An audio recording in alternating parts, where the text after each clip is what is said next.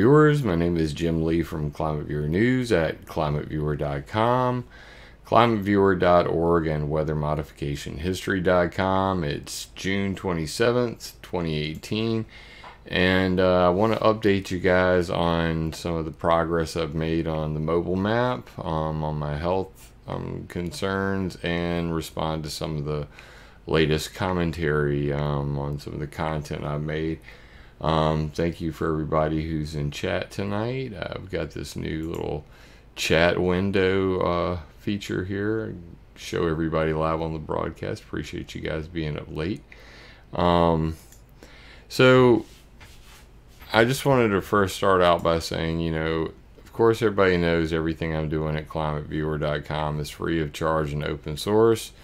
Um, I ask that if you're going to support me monthly, do it on Patreon. If you want to send me a donation on PayPal, I greatly appreciate it. But right now, I'm battling Graves' disease. And um, though, you know, I seem to have my, my thyroid is shrinking um, slightly, my uh, anxiety level is still through the roof um, and barely able to deal with it on a daily basis. Today was one of the worst. Um, but regardless, if you guys could support me, it's gofundme.com slash fix my thyroid. I still need to get a juicer. Um, I'm doing a dietary makeover, yada, yada, yada. I'd greatly appreciate your support on that. So, and thank you to everybody who has.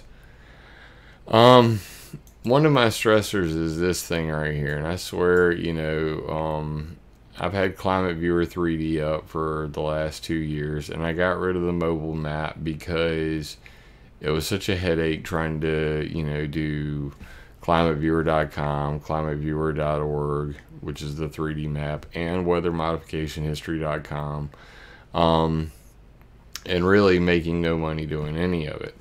Um, and you know that's the same story that a lot of activists have. You know, you, there's no money in this, and you know I've contemplated uh, making a business model out of it, putting a shop up and all that, and talk to lawyers and accountants. And I don't. The more I look at it, the, the less I want to do things like that. I did this all for free because you know I wanted to do um, my good turn, and you know it's my my way of um, you know my escape, I guess.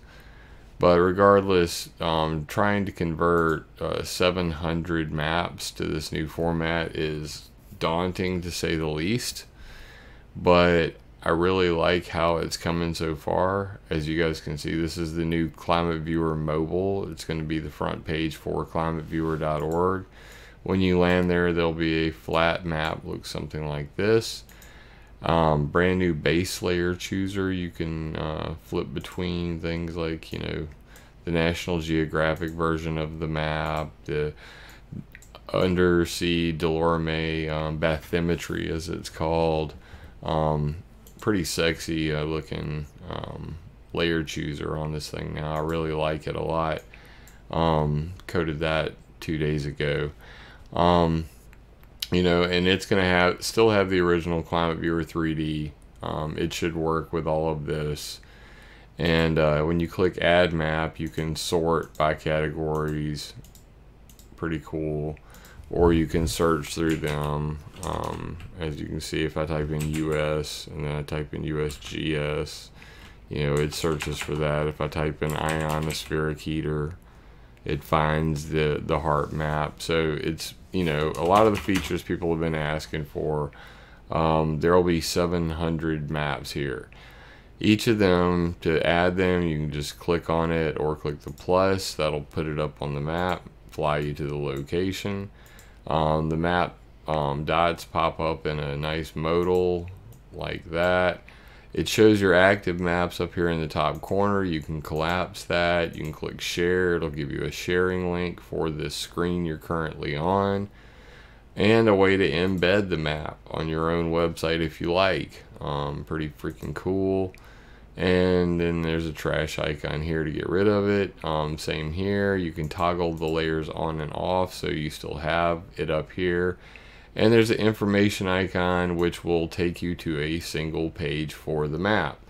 Um, and that was the big idea was that this will be climateviewer.org slash high frequency active auroral research program HAARP. Um, and it's a page just for that map. Um, so there'll be 700 plus pages um, on climateviewer.org instead of one. Because right now, um, search engines can't find any of the maps I've created. Um, and I want to be able to get this information out there. So I'm doing a lot of work behind the scenes on that. Um, but unfortunately, like I said, you know, for each map, I have to go in and completely change the format. Um, it's a real pain in the butt, buttocks. Before, um, basically, like all of my my climate viewer layers were all in one map file, one JSON file, and as you can see, they're listed here. Um, you know, things like where the file comes from, the name of the map, yada, yada, yada. Um, and I'm converting them to things like this, where it's, you know, the HAARP map. Uh, I'll actually bring the actual HAARP map up, and you can see all the information I have to type in. I have to create a preview image for each one. Um, this is going to take me, I mean, I was thinking I might be able to get it done in a week. It's probably going to take me a month or two. Um, and it's very overwhelming to say the least. But you know, like I said, I really like how it's coming out. Um, it's absolutely gorgeous. It's a labor of love. I'm doing it for free. I hope that you guys will continue to support me um, on the Patreon, the PayPal, and especially on the GoFundMe right now because my thyroid is whacked out and I am stressed out. So that's the new Climate Viewer Mobile. It is coming soon. Um, it will have like lists of the categories as well, so you can see like just the maps from you know each category. It'll have a whole lot of ways of browsing the maps in different ways. Really looking forward to getting that done. Um, so I wanted to respond to some of the things from the past week, and as you can see here, I did an article called Trump's Space Force and Owning the Weather in 2025. Um, got a ton of views, um, lots of interest in that. I also streamed that on Facebook. Many of you probably saw that. Um, but one of the comments over here, let's see if I can find it real quick. Where's it at? I thought I had it up on the screen already. My goodness, I didn't. Okay. Well, there was a comment here that I wanted to respond to, but Lord knows it'll probably take me forever to find it. Oh, yeah, yeah, yeah, yeah. Donald Trump's uncle, John Trump, was one of the scientists put in charge of Tesla's research after his death. So it's no coincidence that Trump is promoting a space force. I found that interesting. Um, and sure enough, that is exactly the truth. So, Nikola Tesla's surprising connection to Donald Trump and Hillary Clinton. And his name was John G. Trump. And he was uh, um, one of the uh, FBI agents that was in charge of the Office of Alien Property that was in charge of Tesla's patents and research after um, he passed away. So that is a big coincidence. Um, thanks to who pointed that out. Let's see right here, uh, Wheezy668. I appreciate you pointing that out. Um, definitely a fact there. Um, it is no coincidence. Uh, I find that to be uh, pretty imp important information. I'd like to add that onto the video details, so I'll make sure I add that to the article shout outs to you. Um, next up, we had geoengineering and breaking the water cycle. Now, if any of you watch this video and nothing um, is being, you know, I'm in my suit and tie, and this was for G. Edward Griffin's um, Red Pill Expo. And uh, I got an interesting comment on that. First of all, dude, can you blink? I do blink, and apparently I didn't blink through the whole video, maybe, or something like that. But uh, Stuart Meyer said something fishy about this robotic presentation. This is not like Jim Lee. Was he coerced? And of course, I responded, I am not a robot. How else could I do this for seven years without losing my mind? Even though I feel like I am right now.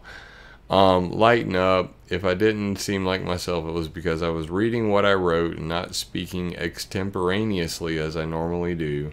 I take Mr. Griffin's events seriously, so you seriously, I said, so I seriously researched and wrote every word beforehand. And as you can see, that is all written out here. This is what I was reading. Um, and, you know, hey, reading from a teleprompter while doing a live broadcast is kind of a new thing to me. So, if I look like a robot, hey, I'm a robot. I am whatever you say I am. But anyway, dude said, what? It wasn't being dark. Something genuinely struck me as being a little off. Fair point, though. Accuracy of information is the most important thing in any case. You read better than I do. I definitely appreciate your work, though. Now, I now that I know there was nothing fishy, I can relax and absorb the info. So, for any of you that watched the video and just seem like, "What's up with Jim? He seems a little weird."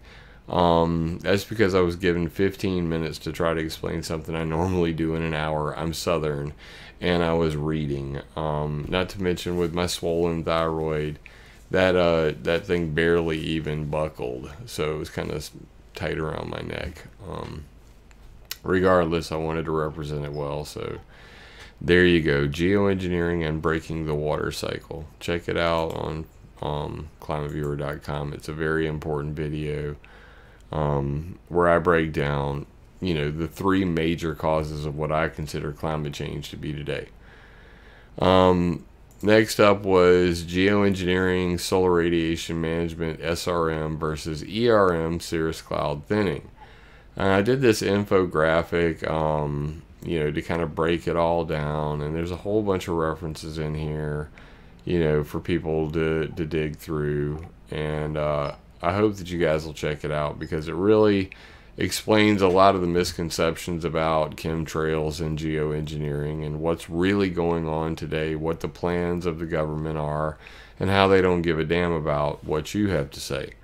Um, but when I broadcast this live on uh, Facebook, you can see that right here, uh, Heath K. Diane, or Diane as I call her, Jim, so what about the additional crap being shot out of nozzles? Mike Decker might be a great resource on that as he has video videos the planes daily. Um, now, I've seen a lot of nozzles. I've seen a lot of ballast tanks. I've seen a lot of chemical tanks. I do intend on making a video about that specifically. Um, a lot of what's sent to me is fuel air dumping. Um, fuel air dumping is a serious problem. A lot of them are flame retardants, um, you know, planes that put out fires, and somebody called it a chemtrail plane. But some of it isn't as easily explained as others. Um, you know, pylon drains, all of these things. I will be making a video about that in the future. This video was not about that. This video was about how, um, you know, if you burn chemicals from jet fuel, how you create clouds, and you know what the government's agenda is regarding jet fuel, biofuel, and making clouds by day, none by night. So I will address that in the near future. Um, and then over on the YouTube version of that same article, um, this guy said, I like your representation, but there's something missing. What about the warming of the polar regions and stripping of assets? Just the oil in Russian sector is said to be valued at more than 23 trillion. So that's another big truth um, to this, and that's why you know I was focusing on the warming aspects of this. You know how cirrus clouds are melting the poles. And, you know, on the one hand, you've got one group that wants to make all this go away. And they want to, you know, they're the, the IPCC crowd, the climate scientists that want to fix the sky and make sure that these geoengineered clouds only cool the planet, don't heat the planet. But you have to remember, Who, produ- who produces the fuels? The fossil fuel industry. Who wants to melt the poles? The fossil fuel industry. So I responded to him to come over to climateviewer.com slash cirrus clouds matter. You can do that by going to the top right here. It's also on the front page right here, the chemtrail page. Um, but when you come over here, scroll down to the frequently asked questions section, and in here, there's one called Are Cirrus Clouds Melting the Poles? And if you scroll through this, what you'll realize is that for a hundred years, yes, people have wanted to melt the poles. And that's what I'm pointing out here uh, to move Earth and melt the poles. $190 million Newfoundland jetty, jetty would cause the axis to shift and end the iceberg menace. Send the Gulf Stream unchilled into Arctic's heart, abolishing fogs and extreme cold. Um, and that was from 1921, Carroll Livingston Riker. Um, before that, Jules Verne um, in 19 in 1889 talked about firing a gun that would tilt the planet's axis. So, ironically, that's exactly what happened with Fukushima. The axis of the planet tilted. Um, Hermann Oberth, 1929, uh, talked about giant mirrors on a space station that would focus sun's radiation on Earth's surface, melting the poles.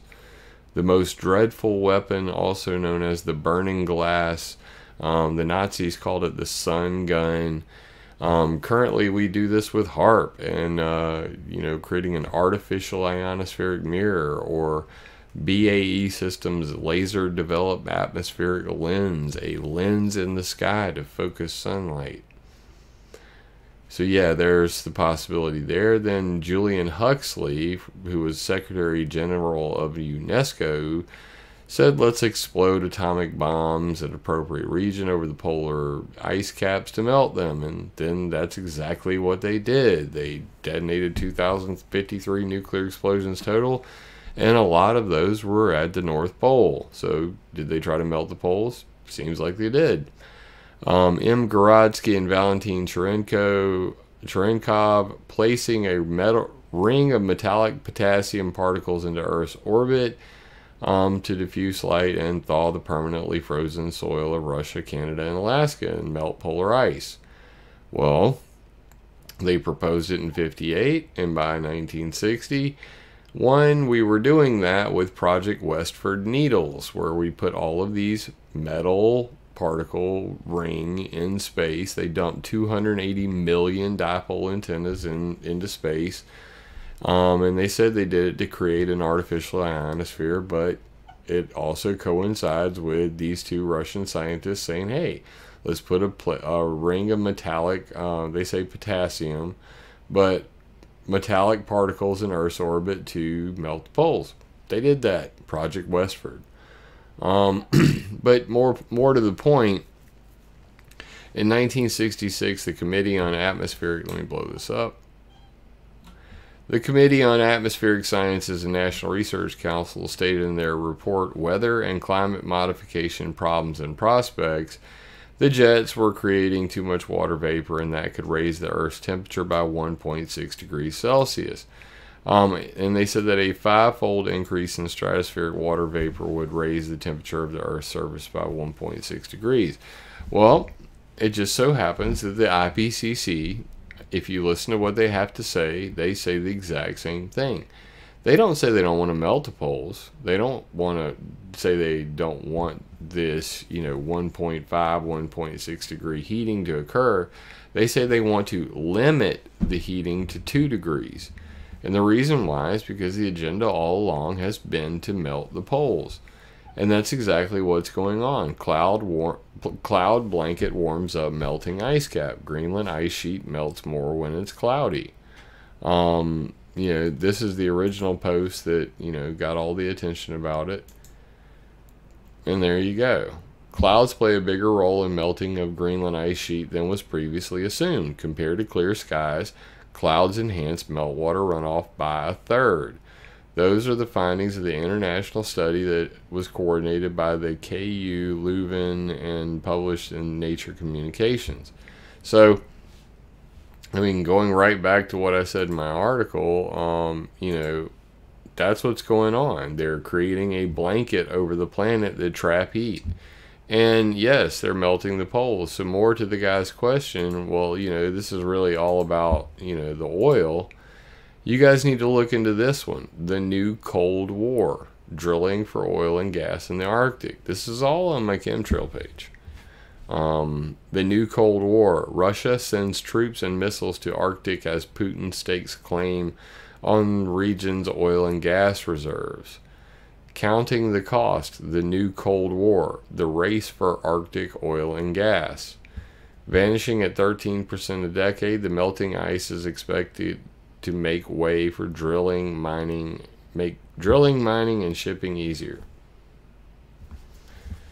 America falling behind the new Cold War over Arctic oil. Um, the Arctic Methane Emergency Group came up with this one. The Arctic Natural Gas Extraction, Liquefaction, and Sales Proposal, or the ANGELS proposal, talking about fracking the Arctic to save us from methane doom. And it's water vapor, not CO2, stupid. Um, that's the American Chemical Society point.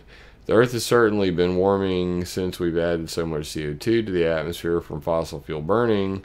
Reply Forget CO2. Water vapor is the most important greenhouse gas. It controls the Earth's temperature. So, between planes putting water vapor in the sky, which they do, and making clouds, which they do, trapping heat, um, yeah, they're melting the poles, and this is what they're after. And you can see right here. Areas highly probable for oil and gas reserves, borders within the Arctic region, and all of that is oil and gas.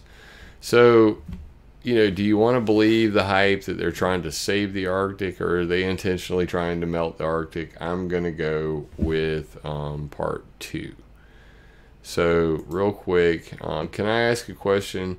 If the government's controlling the weather, why do they keep it so dry in the West? Uh, in the west to continue the fires.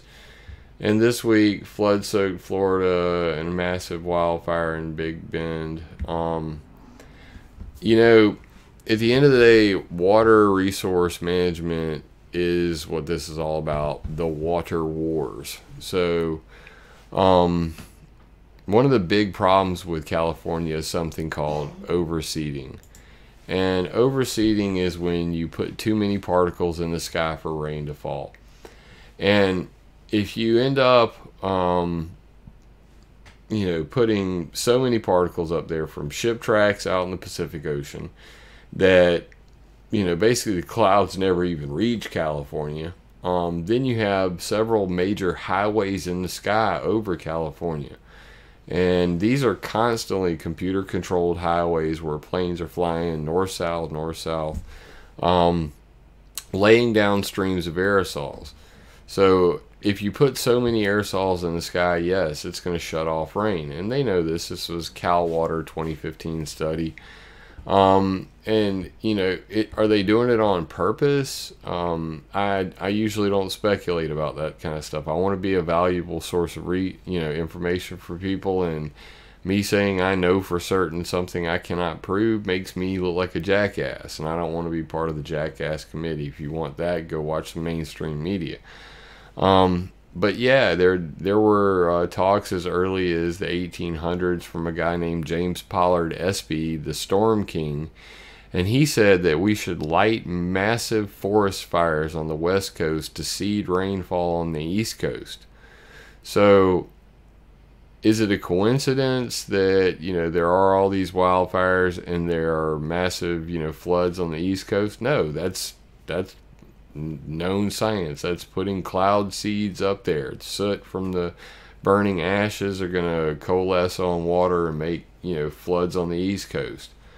Um, but you know that's just the reality of the situation. You know they they're overseeding the sky off the coast of um, California and the Pacific. They're overseeding the sky directly over California, and then they're doing cloud seeding on top of that. So California is really screwed. Um, they mainly rely on meltwater runoff from um, from mountaintops. It's called snowpack augmentation, And that stuff usually only runs from October to March of each year. So, you know, if they don't get enough snow on top of the mountains, you know, all the cloud seeding in the world is not going to save them when you have ship tracks off the coast, plus the U.S. Navy, um, and all the other issues associated with that. Plus, you know, Texas stealing your atmospheric rivers, California stand, you're screwed.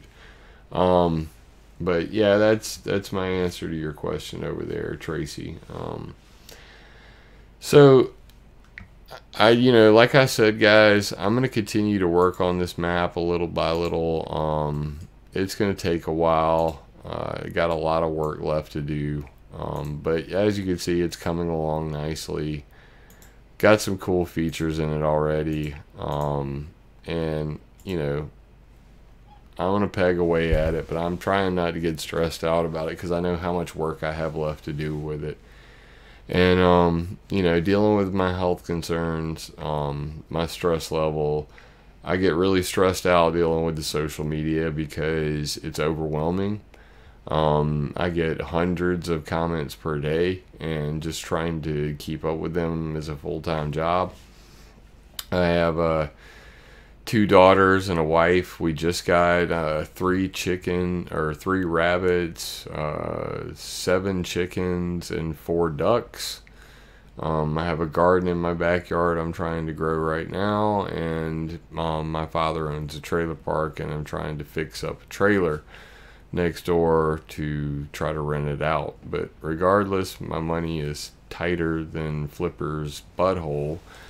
And, you know, trying to afford all this organic stuff, detoxing, doing a video every night, um, while programming, it's just, uh, I'm in need of a vacation. And I am taking one very shortly. I intend to go to the beach here in about a week or two. Um, so you guys will, you know, be missing me briefly, I guess. But like I said, um, I'm going to continue to plug away at this. Right now, I've only put five maps in there. I've got all the base layers working and all the regular features like the sharing stuff and all that. Um, but create recreating all 700 maps, making pictures for them. Um, even thinking about it stresses me the hell out. But, you know, this is something I, I want to do, I need to do. It'll eventually be done. And uh, for all the people who haven't been able to enjoy Climate Viewer 3D, um, you'll be able to play along too.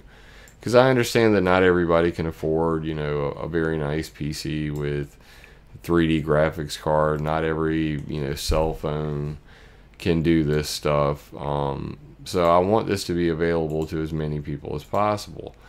And that's why I'm doing what I'm doing. I'm just giving a quick shot. There's your California problem right there. I mean, it's like all the clouds are eaten up by the ship tracks. As you can see, the ship tracks are right there. I'll go down here to the 367 band and highlight that. You can see them very clear as day. That's a boat right there. That's its chemtrail. That's a boat. That's its chemtrail. Um, and these ship tracks mix out here in the Pacific and then magically right up here by California.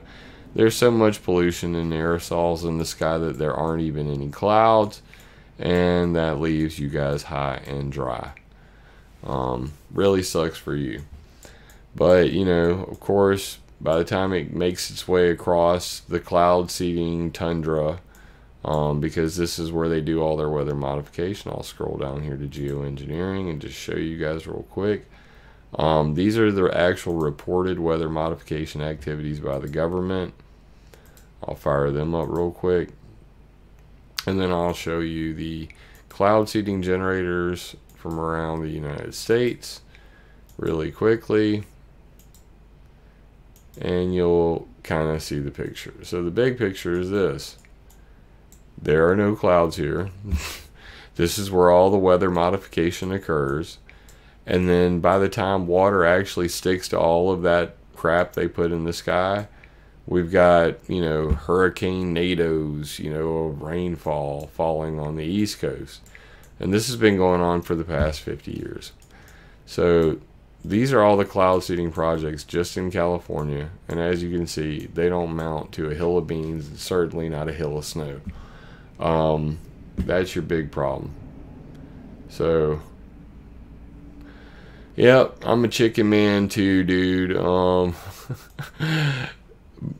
Paul, I, we, we little did I know, um, but last year we had, you know, we were taking care of my grandmother with Alzheimer's, my, my wife's grandmother with Alzheimer's, and we had chickens, and we started eating way more eggs than normal. And I've come to find out that basically Graves' disease and eggs don't really mix well.